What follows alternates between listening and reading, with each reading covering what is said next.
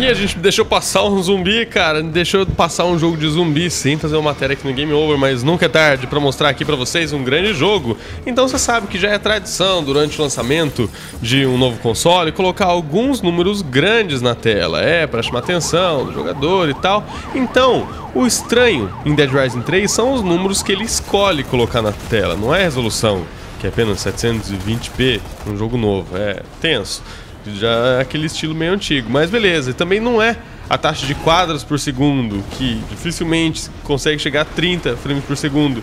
Mas também não é nisso que eles resolvem colocar na tela.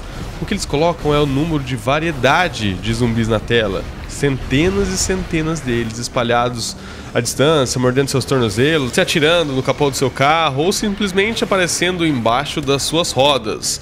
Então você começa quebrando alguns crânios com pé de cabra e passando por cima deles com táxi. E também, conforme você junta mais esquemas para as armas combinadas pelo mundo, você muda. Começa a zapear a galera com algumas marretas eletrificadas, congelar eles também com uns artigos meio duvidosos. Então você vai até dar uma boa esfregada nesses zumbis usando um caminhão de limpeza. Então você vai poder explodir cada um deles em pedacinhos e os atirar em civis. Não é a forma mais sofisticada de começar uma nova geração, né? Um jogo desse, já com formatos antigos, mas é um jogo gratificante. Enquanto o mundo não pode aparecer tão impressionante como Rise, por exemplo, ou Forza, ele ainda inclui uma variedade agradável de lojas, escritórios, locais. A exploração é mais difícil devido ao alto número de cadáveres que estão no chão.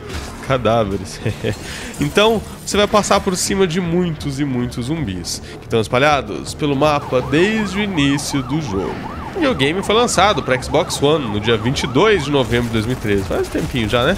E foi originalmente desenvolvida pela grandiosa Capcom Vancouver, publicada pela Microsoft Studio no estilo survival horror, situado no mundo aberto e também o jogo promete superar todas as expectativas já criadas pelo homem, que absurdo, né? O jogo já tá há um tempo e foi bem vendido também. Então, se o seu objetivo é quebrar muitos crânios, esmagar esses zumbis por pura diversão, esse é o jogo para você, cara. Você não vai apenas comprar um Xbox One por causa desse jogo. Não, mas se você tiver já um Xbox One, é um bom jogo que vai estar tá no seu catálogo.